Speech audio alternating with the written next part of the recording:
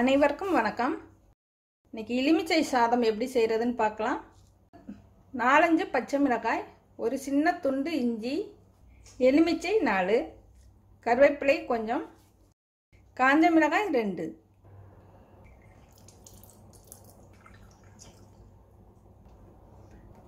ஒரு கால் கப் அளவு சாறு சரியாக இருக்கும்.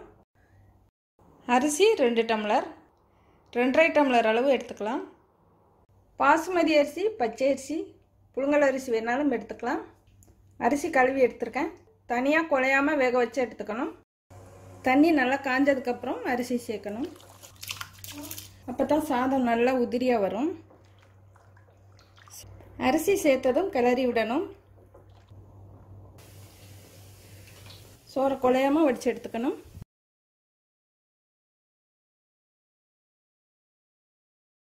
தேவையான அளவு நல்லெண்ணெய் கொஞ்சம் உளுந்து கடுகு கொஞ்சமாக சீரகம்.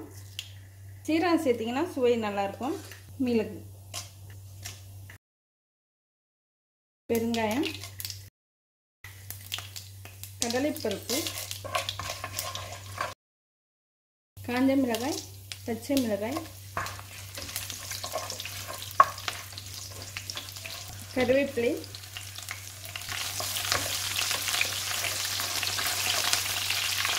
இஞ்சியை பொடியாக நறுக்கி நச்சுட்டு சேர்த்துக்கிறேன். தேவையான அளவு உப்பு எலுமிச்சை சாறு உப்பு கரையிற அளவு ஒரு டேபிள் ஸ்பூன் அளவு தண்ணி. இப்போ தான் உப்பு கரையும். லேசாக கொதிச்சதும் அடுப்பாக பண்ணிடலாம்.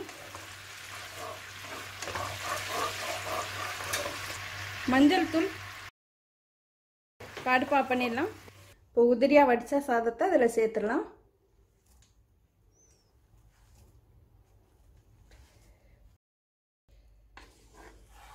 சாதம் உடையாமல் கீழே கொடுத்து கிளறணும்.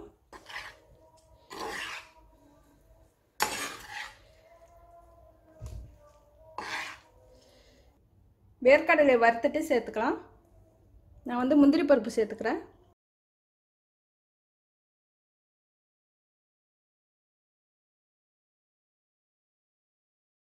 நல்லா கலந்துட்டு சாதத்தை மாதிரி லேசாக அழுத்தி வைக்கணும்.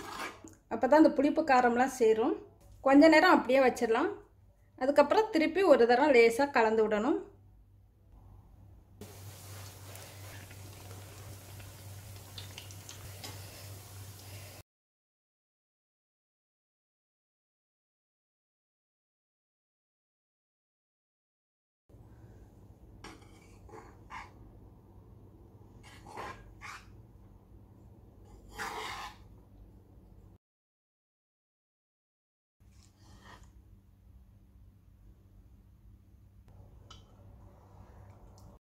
இப்போ உதிரி உதிரியான எலுமிச்சை சாதம் ரெடி ஆயிடுச்சு.